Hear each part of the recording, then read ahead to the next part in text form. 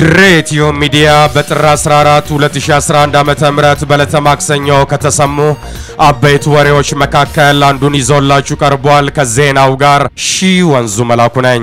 የአዳማ ሳይንስና ቴክኖሎጂ ዩኒቨርሲቲ አመፅ ላይ የሚገኙ ተማሪዎቹን አሰናበተ።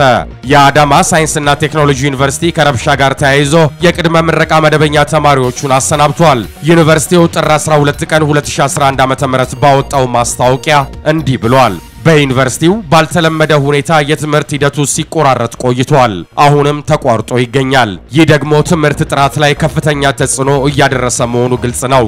ይህንን ችግር ለመቅረፍ በተለያዩ ጊዜያት ውይይቶች መደረጋቸውንና ውሳኔዎች መተላለፋቸው ይታወሳል። ይሁንና የተላለፉት ውሳኔዎችና እንዲሁም በዳግም ምዝገባ ጊዜ በጽሑፍ የገባችሁትን ቃል ተግባራዊ ባለማድረግ በተደጋጋሚ የመማር ማስተማር ሂደቱን በማቋረጥ ዩኒቨርሲቲው የቆመለትን ዓላማ ከግብ እንዳያደርስ ሲደረግ ቆይቷል። ይህም በመሆኑ በሴኔት ሕጉ መሰረት አንድ ተማሪ በሴሚስተር መከታተል ያለበትን ቢያንስ 80 በመቶ የትምህርት ሽፋን በጋራ እንዲጣስ ተደርጓል።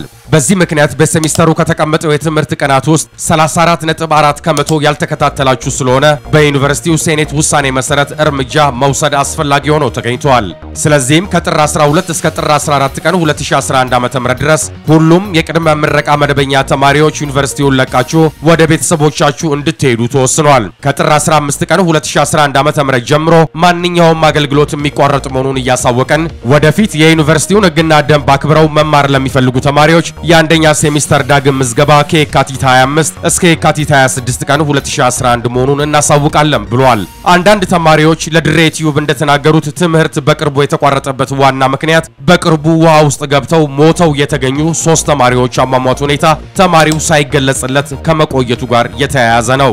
በተለይ ሊዋኝበት የማይቻል የፍሳሽ ውሃ ውስጥ ሊዋኙ ገብተው ሞቱ ተብሎ መግለጫ መሰጠቱ ተማሪውን ማስቆጣቱን የጠቆሙት ምንጮቻችን ዩኒቨርሲቲው የተማሪውን ጥያቄ በተገቢው ወቅት መመለስ አለመቻሉ ለአለመግባባቱ መነሻ እንደሆነ ጠቁመዋል።